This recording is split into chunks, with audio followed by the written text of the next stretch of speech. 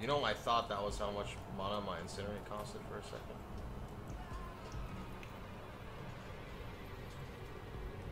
Oh my god, I've never done it before, but I finally did it, team. I killed myself with a Caustic Hollow Mana Flask. I've never done it before, I just did it. Oh! Team!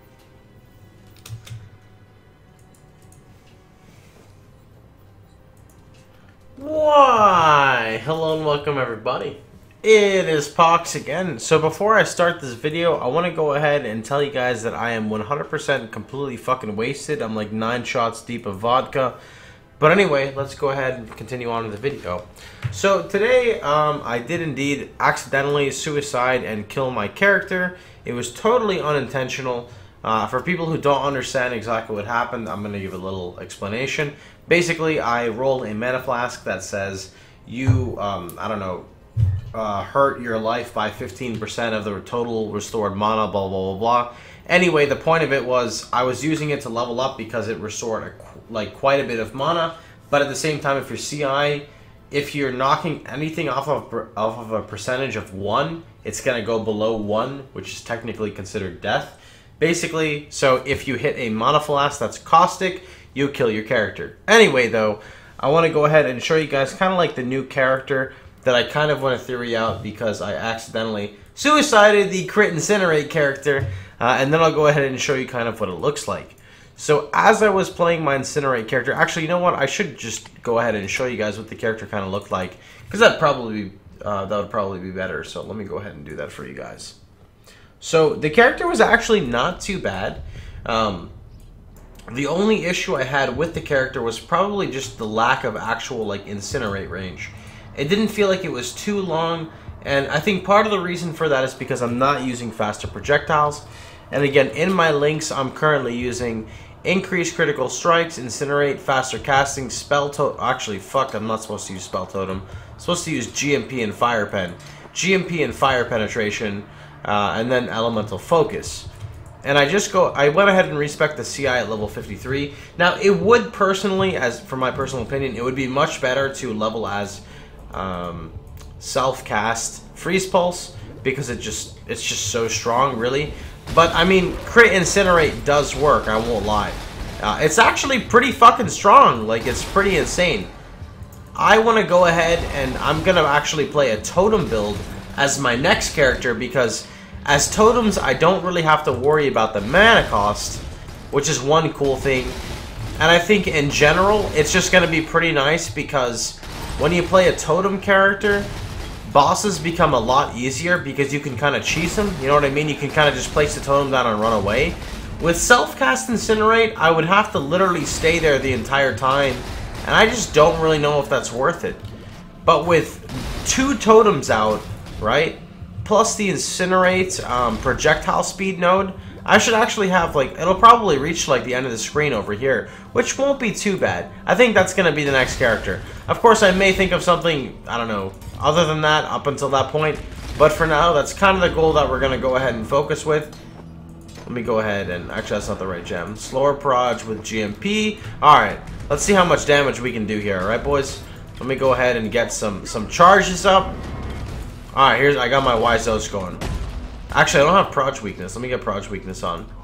Okay, so this is just Cruel Dried Lake. I'm level 53. The boss is 55. Let me show you guys what I'm made of here.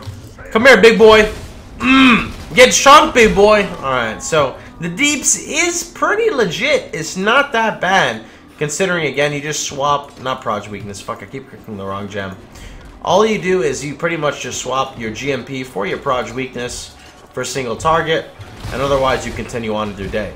But I don't have an Essence Crafted helmet, or sorry, not Essence Crafted, uh, Labyrinth Crafted helmet, so I'm still missing about 30% projectile speed on top of the initial 20% uh, additional I'd get from Ballistic Mastery. So overall, I still do think that the build would work.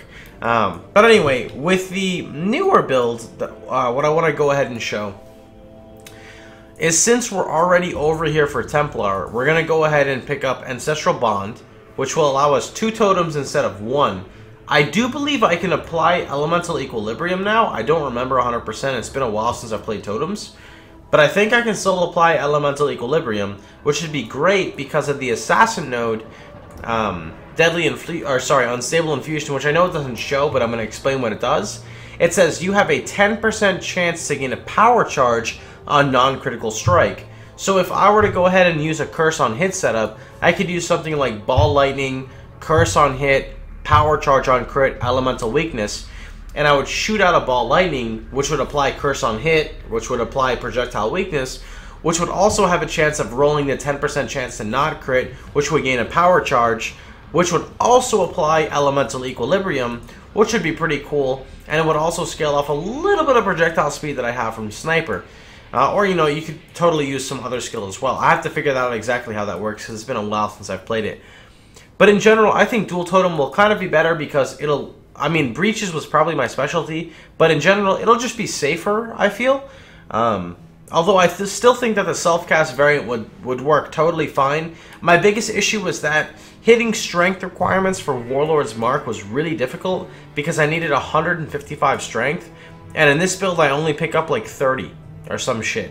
So like, if you tag in 30 strength plus a 30 strength node, that's 64 strength, plus another 30 strength node, that's 94 strength, plus like a 50 or a 40 strength roll on a crystal belt, you can pretty much hit your requirements, but you're still spending uh, two strength nodes, and you'd probably want 155 dex for like Vaal Haste or potentially even Grace as well. So I never really figured out what I wanted to do there, but Totems just kind of feel so much better, you know?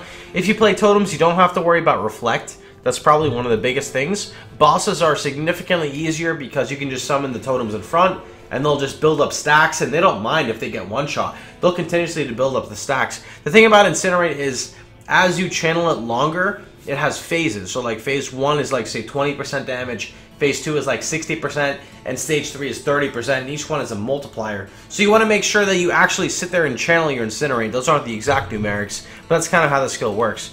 And totems, again, like I said, don't really care about it. They kind of just sit there until they die, right? And by going totems, I kind of have access, or um, I have access to additional nodes. Like I get Shaman's Dominion, which gives me 20% crit multiplier, 20% crit multiplier.